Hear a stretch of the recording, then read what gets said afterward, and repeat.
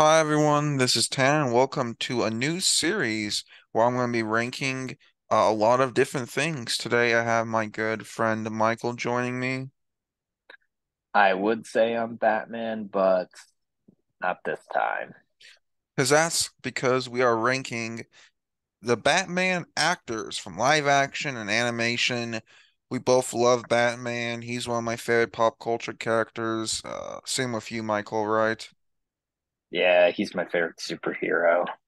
Good choice. And hopefully we agree on a lot more than that. So Yeah. This is a tier list we have, and I think the easiest way to go through this is we're gonna be ranking them one through ten, is to kind of start at the top and bottom. So for me, I think number one's between Christian Bale, Batman, and Kevin Conroy. Both are amazing as the character. Both have a really good, believable Bruce Wayne, who's also kind of an a-hole.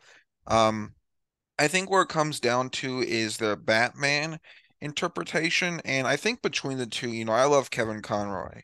You know, may he rest in peace. He did a lot of things for the character of Batman. Um, but I think but I think Christian Bale just taps into more of that unhinged personality, if you will, more of that, oh shoot, I'm actually like scared of this guy. And I think Batman needs to have that. So I would go Bale one, Conroy two. I think those are the top two. Um, I'm good to go either way. So Michael, this is a really up to you, putting you on the spot here. Yeah, Christian Bale. He's he's my favorite Batman. He's the Batman I grew up watching. He's a Batman I grew up watching from Batman Begins, Dark Knight. I remember seeing The Dark Knight Rises in theaters back in back in 2012 at least three or four times, and just and I always and I always enjoy seeing the actor, you know, portray the character. He really just taps in on that vengeance side of Batman in that trilogy, which is what I like about him. Yeah, And Kevin Con and Kevin Conroy's Batman, his voice for the character, whether if it's an animated show, some of the animated movies, the video games. games, Yeah. games, his voice is just iconic with Batman, and and I can't think of another, you know, like voice actor who would portray Batman in the animation, video game, or you know, just animation in general. May rest in peace. But um, I'm fine.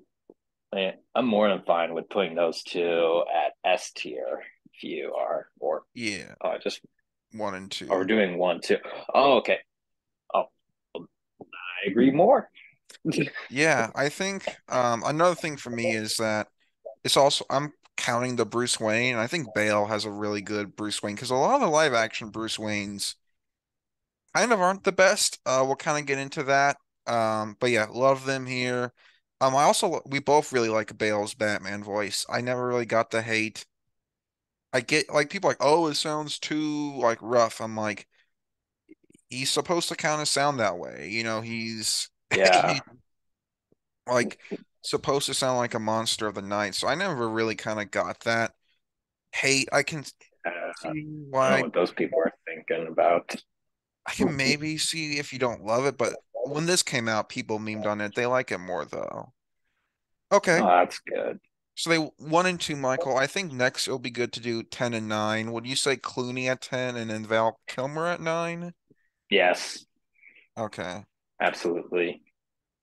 Um, with Clooney, I mean, he doesn't really play Batman. It feels like he plays more like James Bond than actual Batman. Yeah, goofy, goofy, uh, James Bond. Yeah, I mean, you're not wrong with that. Um, Whips out a Bat credit card.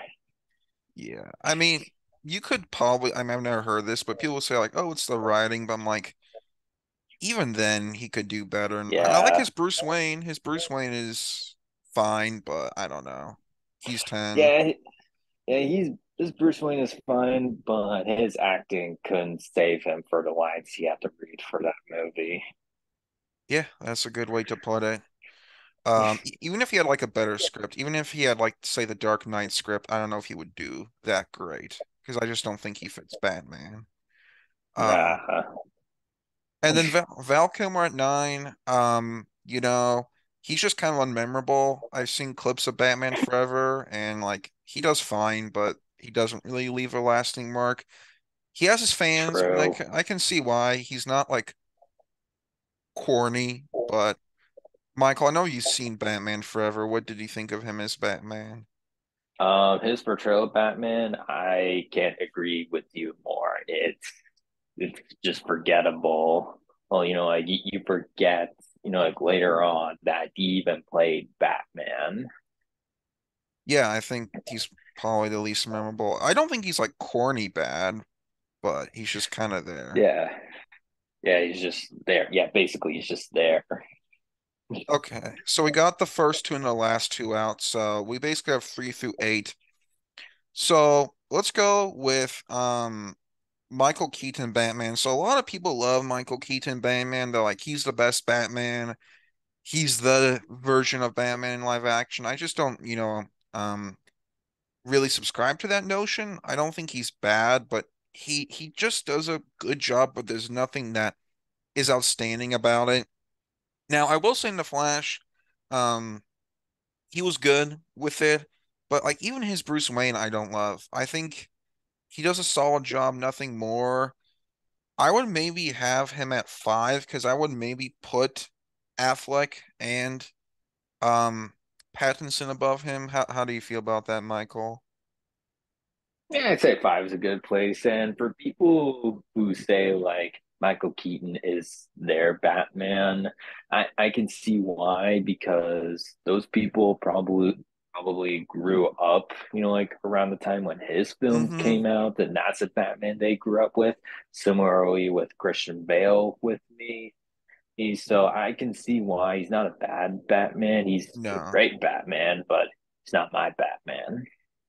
Yeah, I think too, because I saw I saw the Bale Batman movies not when I was young, so I didn't really grow up.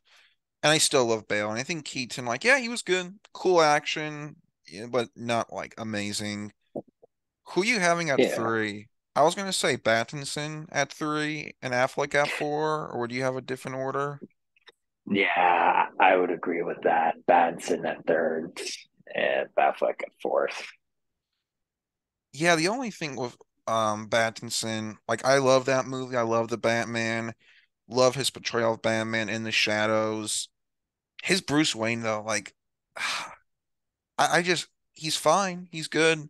I get Matt Reeves wanted to do a different take, but I don't know. What what do you think of his Batman? Like I love his Batman, but his Bruce Wayne pulls it down a bit. Um, I didn't really mind his Bruce Wayne that much when I saw the Batman, and um, I thought it brought on you know like different elements Bruce Wayne. One who doesn't really focus on Gotham City as Bruce Wayne, rather than you know like as the Batman and focuses on Gotham City. I like I like that take on Pattinson's Batman and um really different. But his Batman I really like. Brought on more of that detective feel Mm-hmm. for for his character in the Batman. And and it shows that it shows how he's kind of starting up as the Batman with some of the gadgets he has, like his flight suit, when he was when he soared from the building. If you, you remember that scene, Tanner, Yes, that was a good moment. I know some people think it's a bit corny, but I don't know. I liked it. a bit mixed on it, but but um, yeah, he's a great Batman. Um, real quick, who, real quick. I don't mean to get off topic, but who's that guy next to the Lego Batman? That's um the Batman from Gotham. Ah, okay. Are able to are able to discuss him next after Batfleck? Yes. All right, thank you. So, um, one more thing about Pattinson here. I think you could argue that his bat, like his acting in Batman, is the best acting role in a Batman movie. Like, I love Michael Keaton, other movies, The Founder, um, Spotlight, ton of great movies, but he acts well as Batman. Bale's a terrific actor, but maybe you could argue him, but I love Robert Pattinson as an actor. as Batman. I think that shows through. And then Batfleck, uh, we both love, and I mean love, the um Dark Knight Rises movie. Um, and this movie is highly inspired by not right Dark Knight Returns, right? The one You're good. the Yeah, it's, animated it's one. Dark, yeah, Dark Knight Returns. Oh, it's so close because uh, Rises and Yeah. Returns always gets me. But No worries. um, yeah, very Oh, high. oh yeah. Oh, yeah. People in the comments don't criticize on Don't criticize on it. You made a mistake. Anyway. Yes, You go. yes. Um, but yeah, Batfleck very inspired by that take, and he does a great job. He's physically imposing. Love his Bruce Wayne more with his gruff, tough, done with everything. His Batman is legit scary. Like, I don't say that about Pattinson, kind of, but I'm like Ben Affleck Batman really has that feel with him. I don't see him as much as like the crime fighting Batman as much. I see him more as what he is is the old Batman, the Justice League leader Batman. Um, but I don't see him as fighting crime as much. But yeah, I think four is a really good spot for him because I like his Yeah. uh, I like his Bruce Wayne more than Keaton's. Oh, it's Bruce Wayne more than Keaton's. Ooh, that that's a good one. I gotta think on. But yeah, his Batman. I, I agree with you. Who he he he plays a a more of a well more of a well experienced Batman rather than a fresh out of the new Batman. You know, just getting started up with the superhero life. But he's he God, I forgot how to say this, but uh, basically, yeah, something I agree with you is that Batfleck he plays a Batman and that doesn't deal with crime rather than the rather than you know he teams up with Justice League because well, all we've seen him, all we've seen him in movies is with the Justice League and not on his own. Yeah, I do. Yeah. I know Michael really wishes we got the uh the solo movie. That would have been sweet. Still hurts even thinking about it. Um, it- it's tough, man. It's tough. But yeah, um, I I think yeah, Ben Affleck's just a good actor. Um, do you remember before we move on to the Gotham Batman? Do you remember when Yeah. Ben when Ben Affleck got casted? What did you think of it? Like, I was kind of neutral, but I know people really hated it when it first happened. I was neutral about it as well. I didn't really know what to think about it because, well, he got Mhm. casted when I was 11, and well, I didn't really have the IQ to really think about it. But but I was neutral on it when he was announced as Batman. Yeah, I was But, too. Uh, with the Gotham Batman, are you able to make him the new 10? Because I haven't seen his acting performance. Uh, I don't know if you have through clips or if you've seen the Gotham show. I haven't. Okay, so here I would have him. Okay, so David Mazouz is his name. I I love it. I think his Bruce Wayne's really good for a young Bruce Wayne. It was good acting. I'm like this guy kind of has a bit of the Christian Bale, like kind of loose, but like kind of trying to get his life together ability. Uh, Bruce and Alfred's like their their relationship on the show is really good. His Batman though, yeah, the suit's pretty corny, but his acting, I just I just kind of don't love it. I I think he's like he's more Batman than Clooney, but I would have have him at nine because like I think Kilmer at least like has a good suit and acts like Batman. While when David Mazouz is Batman, I'm like, okay, this is like something from Riverdale. Love him as Bruce Wayne, but not as Batman. So are you good with that? Him at nine? Yeah, I'm good with that. Not gonna lie, when I saw that image, you could have fooled me and said that that was Catwoman, Catwoman from the Batman. yeah, yeah. I'm just like, I'm just like, who, who is that Batman?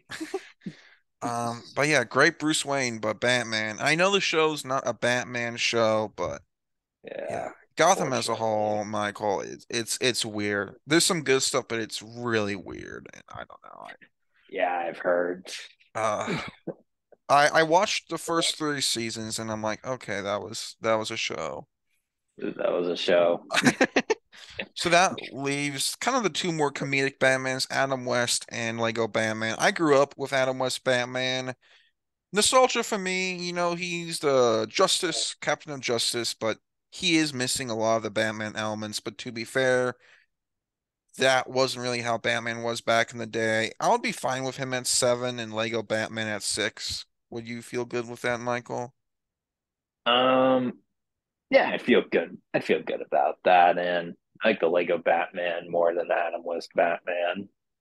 Yeah, because like Lego Batman, he is funny, but there's some like good stuff. Like in the Lego Batman movie, there's some like legit emotional Yeah. moments there. And Yes, and um, and real quick before we get to like the Batman movie, the Adam West Batman, I agree with you that the the Batman he was trying to portray isn't, you know, like a serious, tough grunt Batman, like the like Batfleck. Like he was supposed he was supposed to be, you know, like more of a, you know, like goofy, bit of a goofy Batman, but also really on the detective side of things. And I grew and I grew up a bit with him as well. So I can't really hate on him. He, he he's a classic. yeah, I really liked um how you mentioned the detective side because that's something the movie always had, the detectiveness, and that's how Batman was back in the day. That's how he was. He was a fun, goofy character. He wasn't as dark and serious. So I think why Adam West works as being a goofy Batman and George Clooney doesn't because at the time for Adam West, Batman was goofy. With George Clooney, we had serious Batman. Um, Yeah, and then Will Arnett, great voice for Lego Batman. Um, good character stuff. Um, wish we got the Lego Batman too. Um, yeah, but. Deserves a sequel. awesome movie, like legit, really good. Yeah. Um, I feel I feel like the movie is underrated. Would would you agree with that? yeah, I I think the Lego movie's better, but not by that much. Really? Yeah, I like the Lego movie more, but it's close. I I, I would agree it's underrated because like people mention the Lego movie as this animation giant, but they never mention Lego Batman. So Yeah. Yeah, they never do. Oh, which honestly, I like that movie. Which honestly, I like. I like the Lego Batman movie more than the Lego movie. I can see that they're both really good. Yeah, and maybe it's my favorite animated movie. I don't know, I still need to tell.